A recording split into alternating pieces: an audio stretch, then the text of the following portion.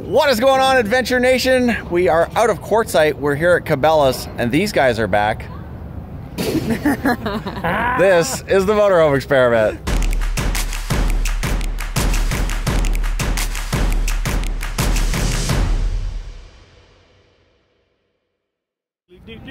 We have left Quartzsite. We are back in Phoenix, Arizona. We'll talk about these guys a little bit later on and what's going on with them and their breakdown in Tucson. Uh, we're going to head over to a regional park here for a few days, but there's something that uh, happened yesterday, so go check that out. Well, we are on our way from Quartzsite to Phoenix, and we weren't recording anything because we were in I-10, straight shot, just what about two hour drive, maybe an hour and a half drive in our first flat tire. So that kind of sucks. Now our an hour and a half drive is gonna have to be a lot longer because I guess we have to wait for roadside assistance for them to jack up the RV and put a new tire. Awesome. Paul is not happy by the way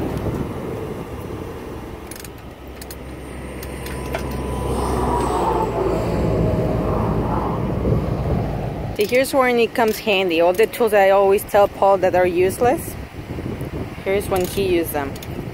It's always nerve-wracking to be next to the highway doing this.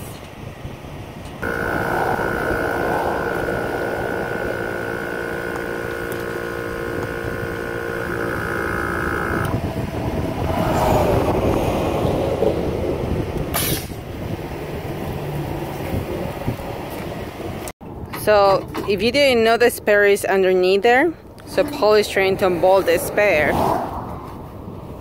And never done this before, so wow, it's pretty dusty.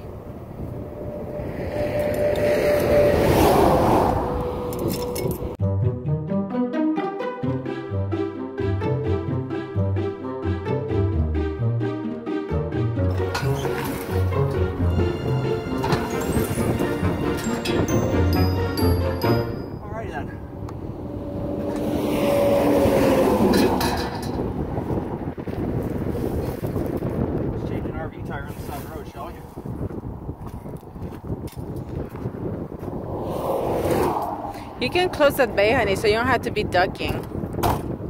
So here's a spare. Always nice to have a spare because road assistants are not gonna have really specific type of tires for your RV.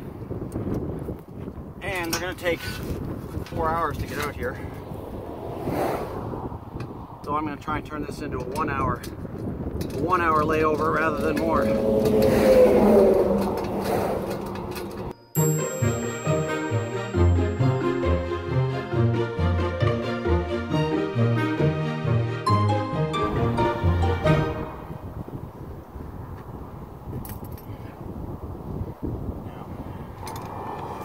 Paul, I'm never gonna complain about the tools you have in the RV anymore. So what we did is uh, I used the, the jacks on the RV, put a put some spacers underneath the jack so that I could jack this side of the coach coach up, and then we'll get this tire off. What I just saw, these are regroovable, so I think once I get in, I'll just get these things regrooved and they'll be good as new. I don't think so. Let's so. get this thing off.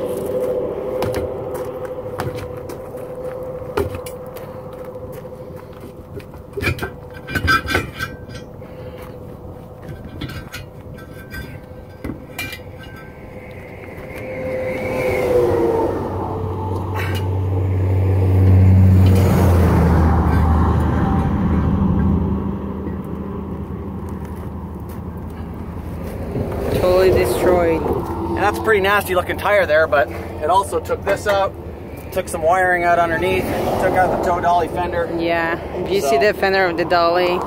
All pretty nasty, but So that's another plus of the dolly. The fender got destroyed, but not the car. wow, the car wouldn't have got hit either way, but You don't think so? nah. Okay, so that's me just being paranoid.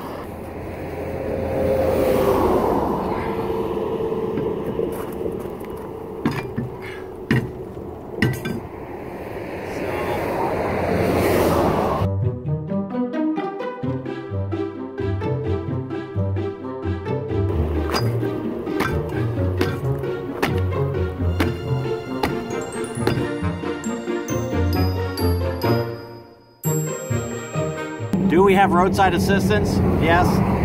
Was I going to wait two or three hours or four hours for them? No way. Little did I know that a spark plug wrench hooked to this big thing would get us off the road in a hurry.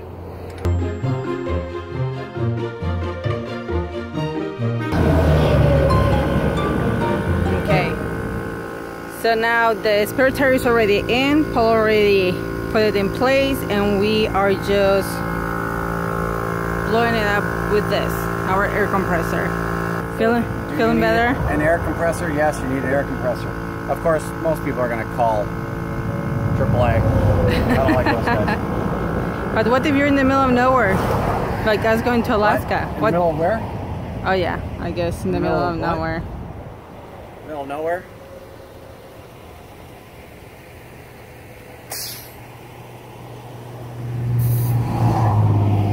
We're still pretty close to Phoenix, but I'm talking about like in Alaska or something Oh, like yeah. that. I ain't scared. I ain't scared. Ah! Ah! You can't stop this train. This train or this experiment? This experiment. All right, Time to go on the road again. time to go. How long was that? An hour? An hour. Okay, wasn't that bad. I was already freaking out, calling roadside assistance, and my husband is like, "What the heck are you doing?" Are you coming? Yes, I need to turn off the flashers. Well, that was fun. I will not call it fun. So- had to happen one day, right? Nothing happened, so that was a good thing. Just small damages.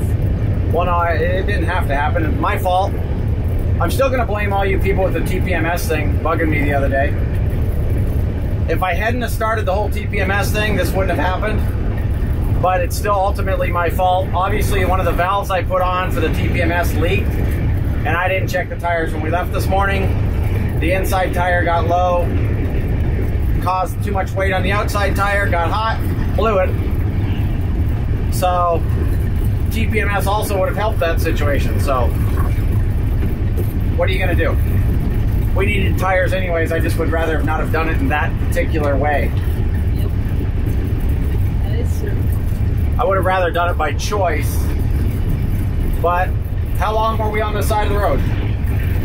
Uh, about an hour, you said? About one hour, folks. So we could have called roadside assistance. I could have had somebody do it for me. We would have been out here three, four hours. Who knows? And I wasn't about to do that. So throw on the spare. We'll limp into Phoenix, and in the next few days, while we're having the generator fixed, we will also get some new tires. We'll just do them all. It's about time, anyways. So yeah, that was really fun yesterday on the side of the road changing a tire. But the good news is, is that I was able to change the tire. So we were only about an hour on the side of the road. Fun though, but it was the experience, I guess. Yeah, it was an experience. And it's not so much the blowing of the tire that sucks, it's the damage to the fender on the coach, the damage to the side light on the coach, the damage to the fender on the tow dolly. Some so wiring too. some wiring up underneath got shredded, so yeah, fun stuff. So now we are heading over to a place here in Phoenix that is able to get us in today. And we'll talk about that when we get over there because that is pretty awesome. Because a lot of places didn't have the tires didn't have the the ability to do them but they had the tires or couldn't do them discount tire. And uh, yeah there were some other places too that oh yeah we can sell you the tires. We just can't put them on. That doesn't do us a whole lot of good. Super handy. So we're rolling over now to a place called S&S Tire and Service. And if the place is any indication by the guy Robert that I spoke to on the phone, it is going to be awesome. So we're keeping our fingers crossed. We love good customer service. So, Oh, look who just somebody just came down or did he go up? Oh, down. Oh, wow. I guess Ozzy was up top. So yeah, we had Goodyear and we had Discount Tire both say that they could sell us tires, but they could not install them. I called these guys over here. They said that they could get us taken care of today. We're at S&S Tire and they said not only could they get the tires in for us, but they could get them in today and they could get them installed today. So we're heading inside now, talk to the guys, find out where they want us to, to park, and hopefully we'll be able to get these tires installed sometime today. All right, guys, so we're gonna actually get installed today, which is cool. So next three hours, we're gonna have brand new tires. Dennis here is taking us around back. What I wanna do is just have you go ahead and pull it right here. Okay. This is where we do all the motorhomes. So we're gonna just pull right up onto the slab here. And this is where they do all the motorhomes and they're gonna get us squared away. So that's pretty cool.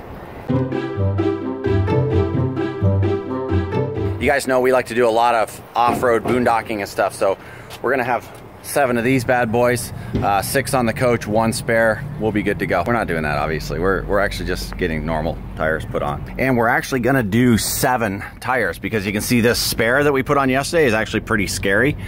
See the, the splitting in the tire here is, is pretty bad. So if you've got tires that are doing that right there, and holy smokes, that thing's hot. If you got tires that are doing this, then you, it, you need to get them changed because that that's a sign that the top is separating and is gonna have a blowout and do a lot of damage like we did yesterday. So you can see we broke the fender, we broke the light here. There's some wires hanging down in there that cut those. I think those are just the lights to here. And then of course, I think Lori showed you guys all this the other day, but broke that bad boy too. So good stuff, really good stuff. Really happy about that. All right, so you guys know from the Quartzsite video that we had a little issue with our little Jenny here. And so we are now at Cummins in Avondale. And Cummins is able to service this bad boy. So we're gonna let them take it. It's gonna be a couple of days even before they get to it to service it. Who knows how long it's gonna be before we can actually get it repaired, but I'm sure they're gonna tell us that as well. But we're gonna drop it off, keep our fingers crossed, and hope for the best. So, yeah. This is gonna take a while. And there it goes. Bye. Our generator has left for repair. It's gonna be good. It's gonna survive, Paul. You guys can see here, these are all the tires that came off of our coach. This was a spare, that's a Hercules. This is a Sumitomo, that's a Goodyear, that was a Sumitomo. Then there was something else, and then a Gladi Gladiator.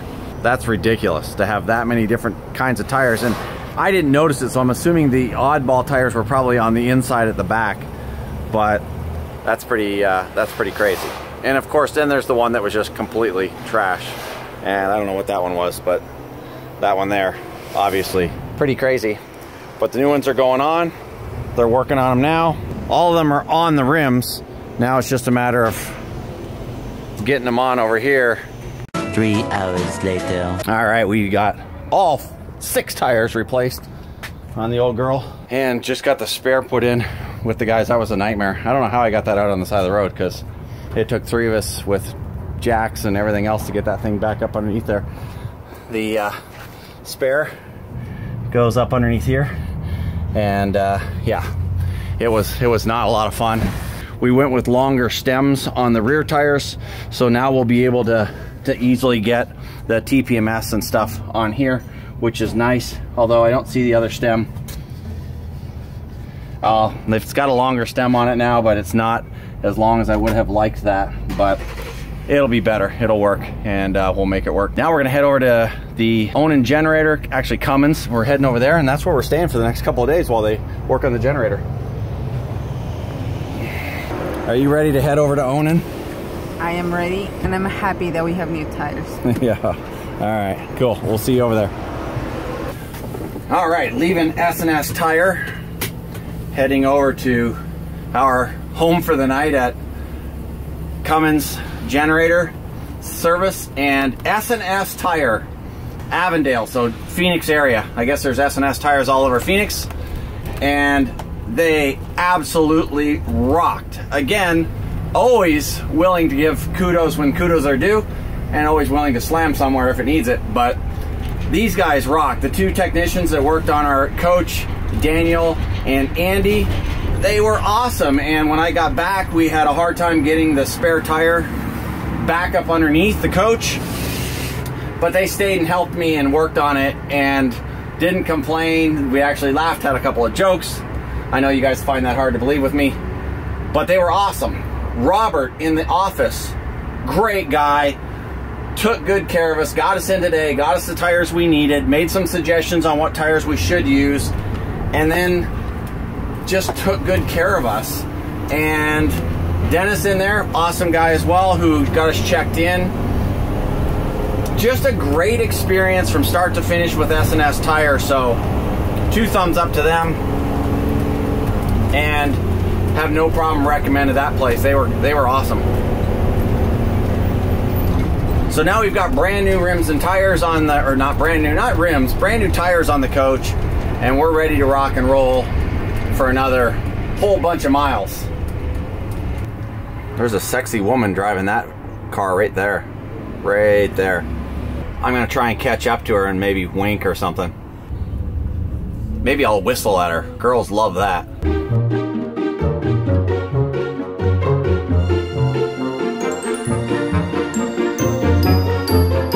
All right, got to show you guys this because this is really cool on the part of Onan Generator. Actually, it's Cummins, which is Onan Generator. Rocky Mountain is the company, the parent company, but Cummins and Onan Generators.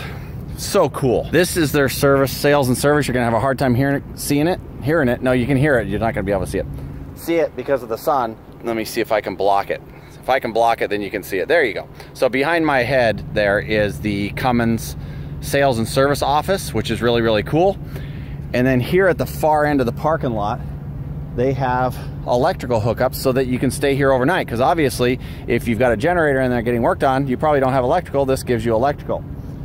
One of the things I have to show you though, Kevin was here first. He parked here first. There was nobody here. Kevin parked first. And then that guy parked right next to Kevin, which I don't quite understand because there was all of this. So I don't know. If you're a viewer of Mars, could you ask yourself why you did that? Then let us know because that's just weird. Like their slides are almost touching. It's crazy. Yeah. What is it about you and, and people just wanting to park right next to you? I don't know, but you're a sweetheart Why? because I actually tried to get Paul to park on the other side of them. Yeah, Kevin wanted Kevin wanted me to park over there on that other side, and then just open up our slides and he wouldn't do it. and leave the other six spots open. Heart of gold. Heart of gold. All right, so we're gonna we're done for the night. We've actually got power, which is good. Power is always the most important to us. We don't really care about the other stuff. Water, we've got on board. Power, you could hit it with the generator, but this allows us not to have to run the generator.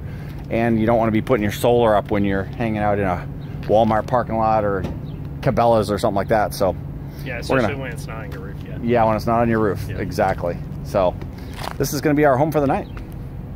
Pretty cool. Kudos to Cummins. Huh? See what I did there? So it is day three here at Camp Cummins, and we don't have a generator yet. So we're going to go check on that now, but we're going to go out and we're also going to pop around Phoenix. There's something called First Friday Phoenix, which is some art thing. Going to go check that out. And then, of course, we're in Phoenix. So where are we going? As I, as Laura. It's not me, it's Laura. We're going to IKEA. Just saying. Don't blame us. Now, Just saying. I, I will say Lori likes doesn't like to mention IKEA because every time we're in Phoenix we're in IKEA. IKEA is a great spot for finding small living stuff. So that's why we go there a lot. If you need a small couch, where do you go? IKEA. If you need a small piece for a closet, IKEA. Is where we got our desk. Where we got our desk for our coach. So you need small space stuff. IKEA specializes in small space stuff and they have small spaces set up so you can actually see how it works in some tiny, tiny spaces. So that's why we go there so much. We won't film that today though, but we are hanging out with those guys. See, she's alive, just so you know. There. Made it. Laura's alive. Well, I Nice. think the channel knows, but Laura. Oh yeah, you guys may not know. So are you guys okay with us telling? Yeah. Laura had a freaking heart attack.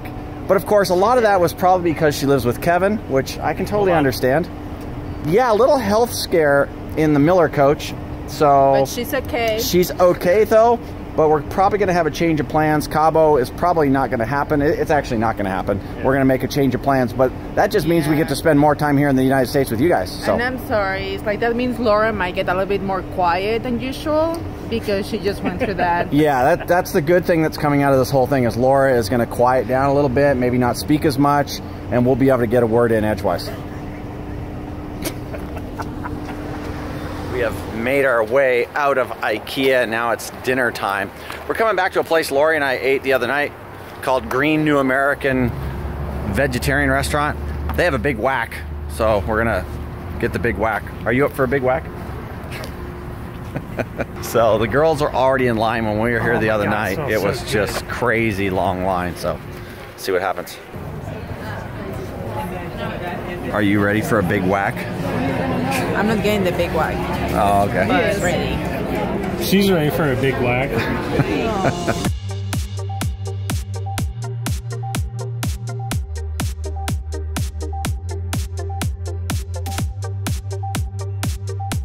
This is the ice machine and water machine, and these are a bunch of ice cubes. You may not get that, but that's pretty funny. We have got some food craziness going on, Lori. What do you got? The chameleon taco? Taco and a barbecue sandwich. Cool. Chame- chameleon taco. And again, this is the Big Whack. Looks like a Big Mac. We got some buffalo wings, another Big Whack. And then we have a salad of goodness, a chicken salad. Chicken salad. Oh, peanut chicken. Looks delicious. You ready for your Big Whack? Seriously, this place has been non-stop since we got here. The line hasn't gotten any smaller. Check that out. Just.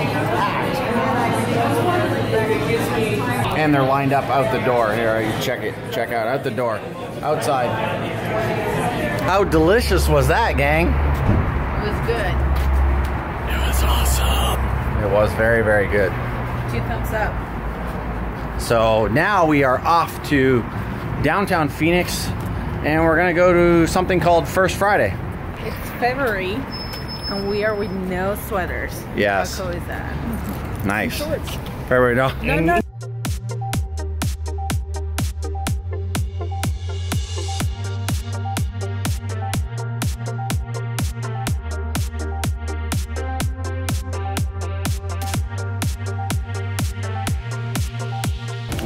Downtown Phoenix. We're at First Friday.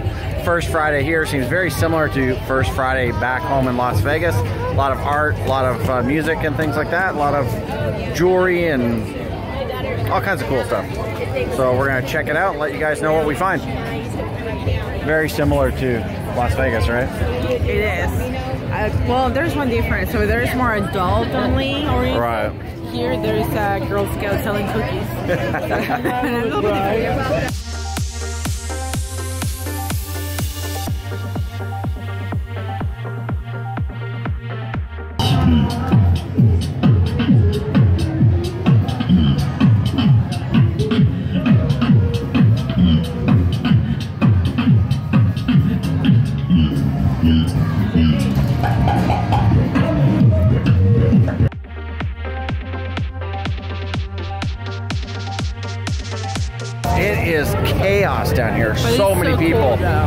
cool. And something for everybody. So it's just a big street fair.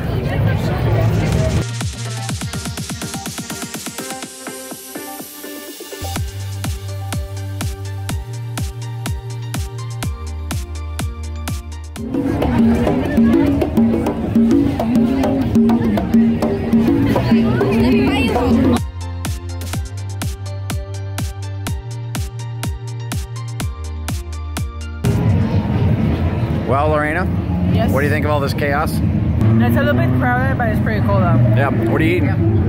Kettle corn. My first time. Your first time eating kettle corn? Yeah. So it's pretty good. Wow. Couldn't see for looking.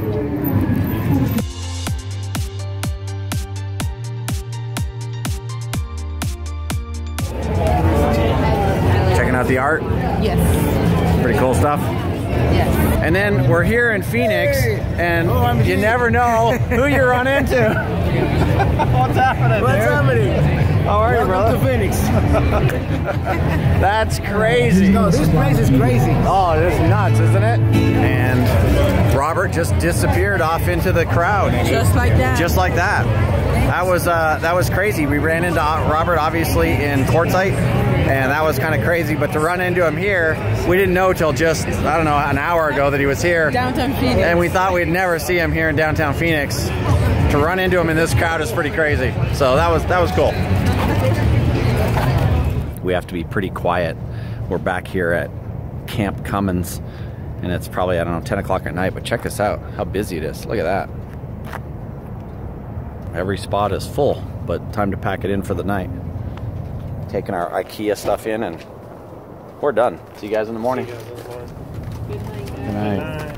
Today was mostly a work day. We just made a quick stop over here at Camping World behind us here. Had to get a couple of components. It's a short walk from the Cummins dealer, which is nice. And last night we had a great time, first Friday, downtown Phoenix. But this is where we're going to call this one. So if this is your first time here, it'd be awesome if you subscribe to the channel. Stay up to date on all of our travels. It would be equally as cool if you liked the video. We'll get in next time. Bye, Bye now. That sun is really bright in the eyes.